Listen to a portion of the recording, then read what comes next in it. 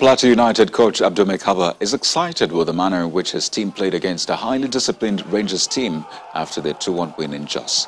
Daniel Todo had sealed the win for the home team after Godspower Aniefiok cancelled Oche Ochowechi's early lead for Plateau United.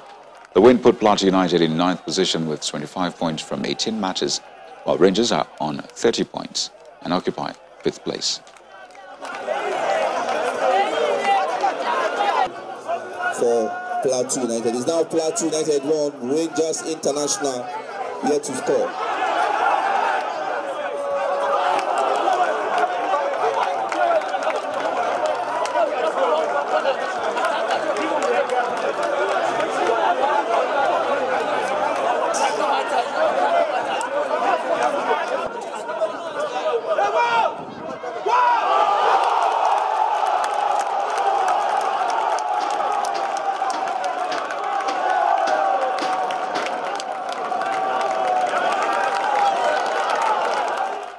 We made a side that is highly disciplined and uh, so tactical.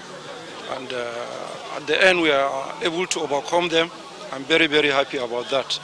My boys played so well right from the blast of the whistle to the end. And uh, they played to instructions. Uh, I hope they keep it up because they fight to make sure they earn uh, the three points at stake. And uh, we got the result at the end. We are happy about it.